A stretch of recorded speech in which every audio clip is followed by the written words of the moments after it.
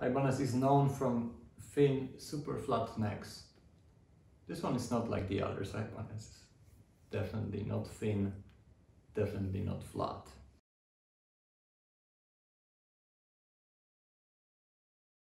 Hello, this is Michał and welcome to the Ibby Register, where my mission is to document every Ibanez guitar ever made. And today we're gonna just make another step towards this goal. In 2003 I bought my first ever Ibanez. Uh, I bought it new from the store. I could barely afford it, uh, even though it was just Korean uh, RG370. I made a video about it, you can check it out here. And um, but around that time I was like salivating towards few other models that were like way higher up in the catalog. And uh, 15 years later, when I uh, got back to playing, I found one of them and bought it.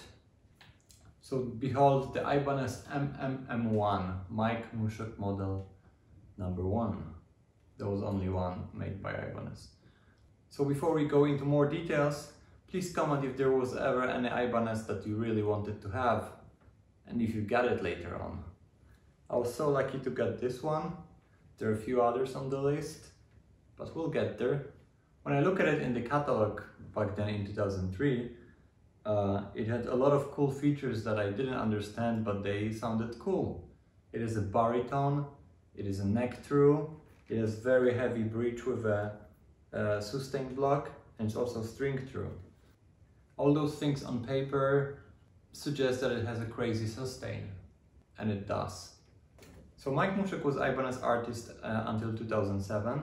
I don't know when it started, and his personal guitars were made by uh, were made by LACS, uh, LA Custom Shop, uh, and they were quite interesting. They looked like modified SZ series or modified Artfield series.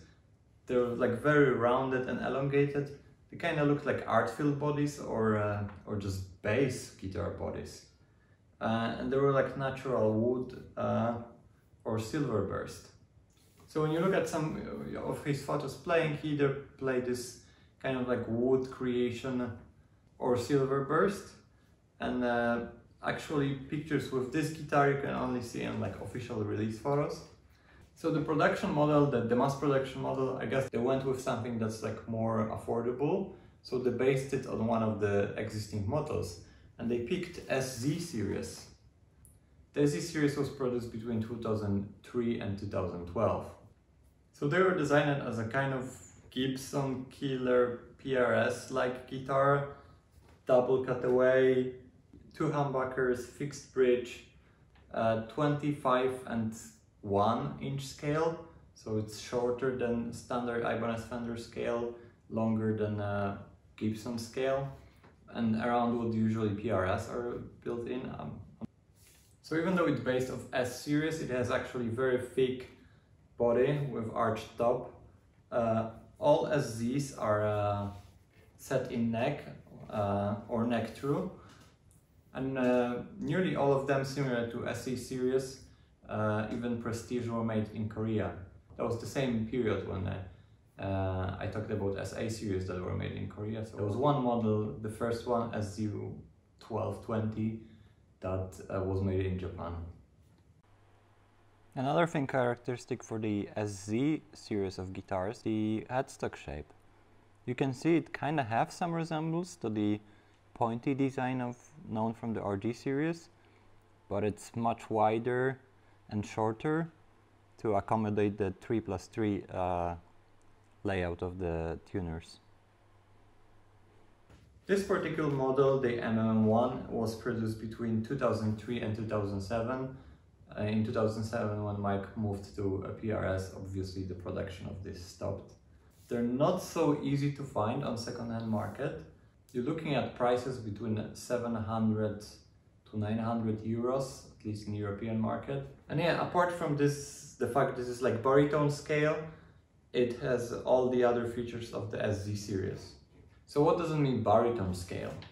So the usual guitar scale, so the length between the nut and the saddles, the active length of the strings, sits somewhere between 24 and half, let's, let's say 75 for the Gibson scale, to 25 and a half for the fender. Uh, uh, that's in inches. And uh, wherever we say that something is uh, over 26 inches, we usually say it's baritone scale. It allows for uh, lower tunings at uh, similar tension without much changing of the string gauge. If you keep the scale short and would like to have a lower tuning, you either have to go to the lower, uh, to the higher gauge strings, so thicker strings, or a lower tension, so they get sloppy. By the time this guitar was introduced in 2003, Ibanez already had some successful experiments with the baritone scale. There, in early 2000s, there were a few models of the RG series with the XL scale, those uh, 27 inch uh, uh, so there were like lower budget RG 470 XL and there was also R970 XL and also 1077 which was a 7 string with 27 inch scale. And in current production series, for example, RGD series are uh, nearly all, all baritone scale because they are in the 26.5 inches. And uh, somewhere between 30 inches, we move away from baritones to bass uh, territory. So for example, there's this six string bass from Ibanez, uh, SRC6 I think, so the, they call it uh, crossover bass. So it has six strings, very low string spacings, 30 inches of uh, scale. You can either treat it as a baritone or uh, as a bass, I guess, depending on your approach. In my opinion, it's more similar to guitar, but uh, yeah, it's from the bass series. The classic baritone tuning is 5 frets down, so it's very similar to what you have 6 bottom strings on the uh, 7 string guitar. There will be some difference on the G string because uh, yeah, scales and uh, music math, but it's very similar. I think I have it tuned uh, 6 semitones down from standard or maybe actually I have it tuned like 7 string right now because I was playing some Korn last week on this guitar.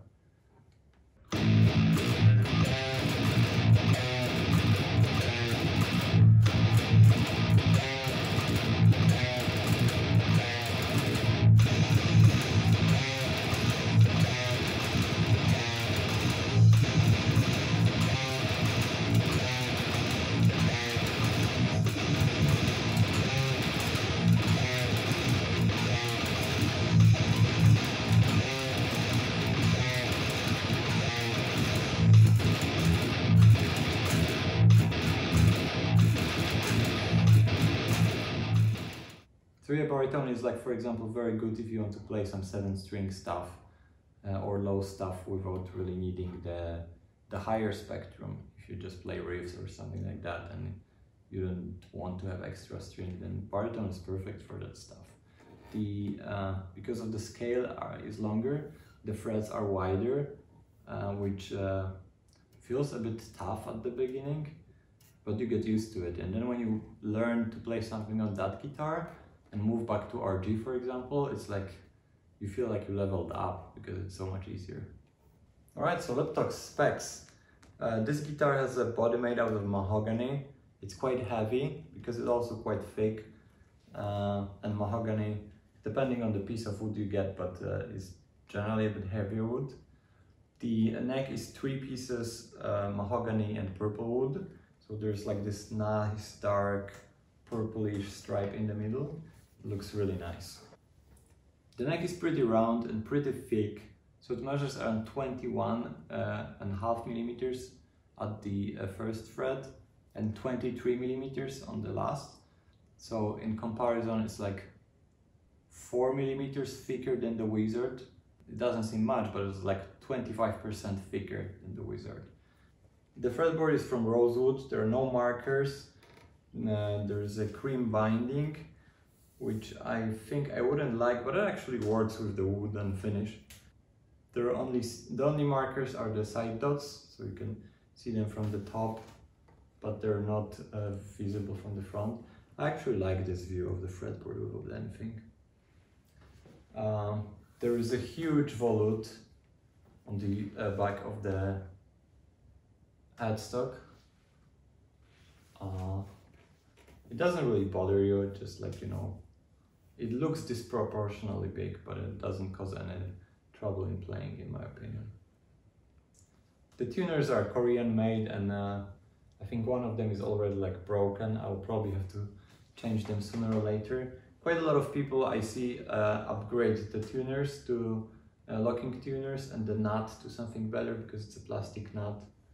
Uh, it also doesn't look like well put into the slot. So uh, probably one of the upgrades I'll have to think about. Chrome hardware, uh, two humbuckers, they're called Super 58s, custom 58s, uh, custom Super 58s. They relate to the uh, Super 58, which is like one of the legendary Ibanez pickup made by Maxon in the uh, late 60s and early 70s.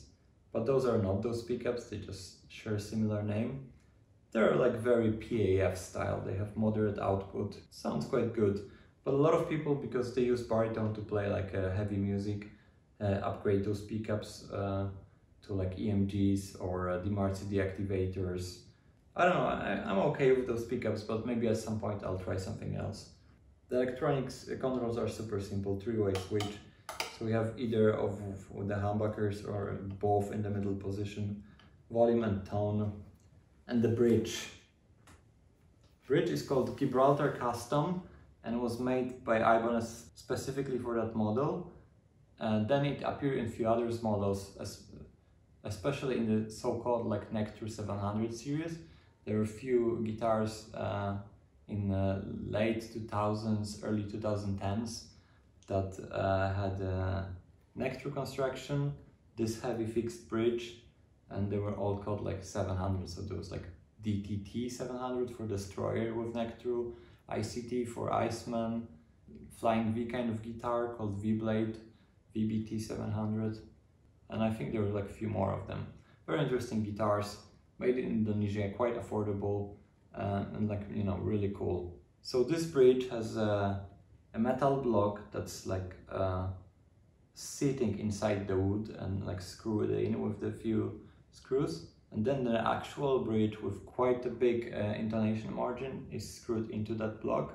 So the whole thing weighs around half a kilo or over a pound, like the block and the bridge. It's massive, it feels massive.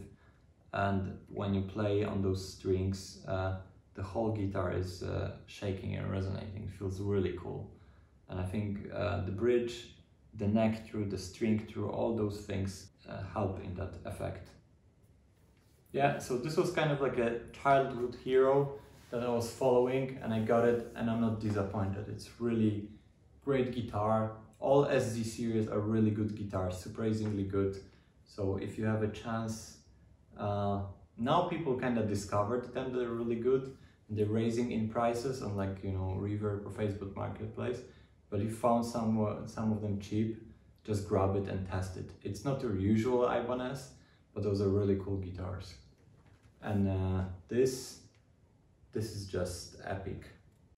The interesting situation with the uh, MM1 and General SZ series is the cases, because they don't feel fit the SZ series doesn't fit the normal RG or S series shaped case, and uh, I didn't bought, buy this guitar new, so I bought it actually with the gig bag.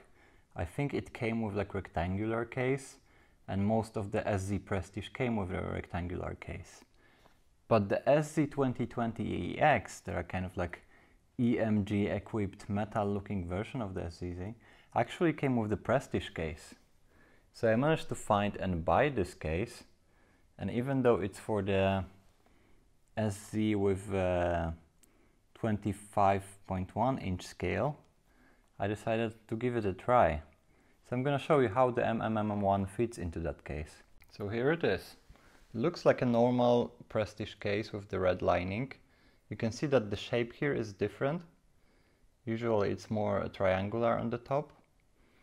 And uh, yeah, it's different than the regular Prestige case because the SZ fits very nicely and snug in here.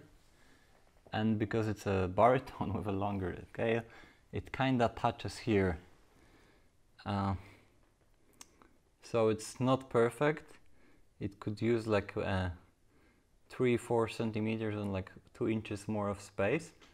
but it works. So I'm aware there are at least three shapes of the Prestige case. There's the regu regular RGS series, there's SZ series, that one, that's pretty rare, and also very rare is for the FR series. Cases are interesting topic. I could make whole another episode about all different cases and how they fit and so on. So uh, let me know in the comments if that's something you'd be interested in. Alright, so that's another video of documenting every Ibanez guitar ever made. That was another one from my personal collection. Um, thanks for watching and see you in around two weeks. Thank